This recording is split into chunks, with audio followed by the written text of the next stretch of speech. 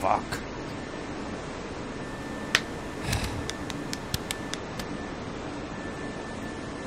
What?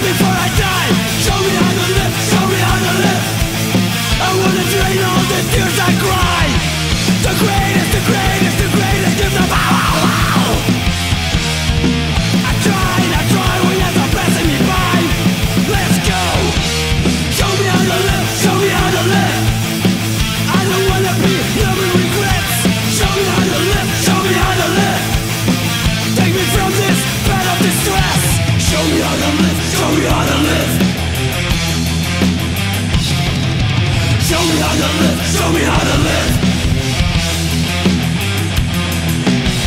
It could've killed me, but sent me